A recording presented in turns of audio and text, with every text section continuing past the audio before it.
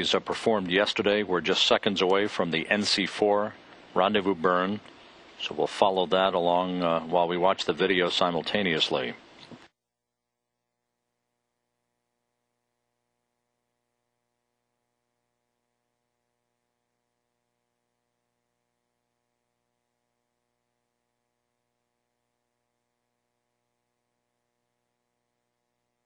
The NC4 burn is underway.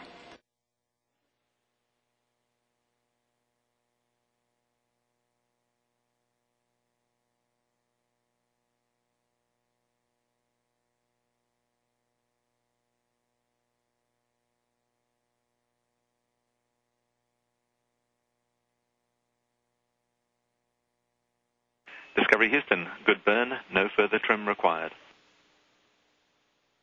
Discovery copies.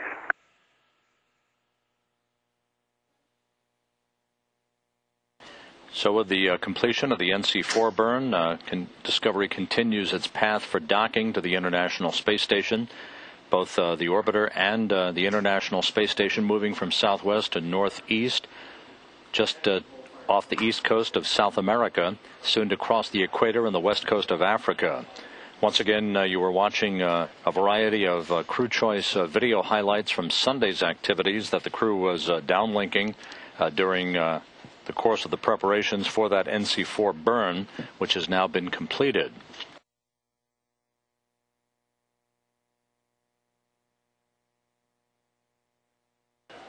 One of the items uh, you saw out of the uh, aft flight deck windows in those crew choice highlights uh, near the end was the uh, extended uh, ring, the outer ring of the orbiter docking system.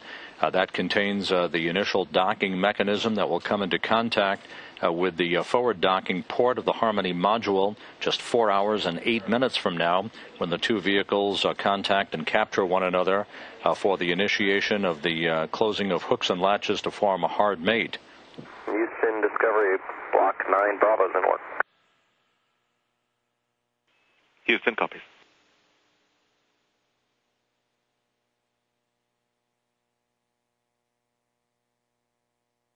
This view, uh, looking uh, from the aft uh, of the payload bay of Discovery to the forward end of the payload bay, shows the, the shuttle's uh, robotic arm in the pre cradle position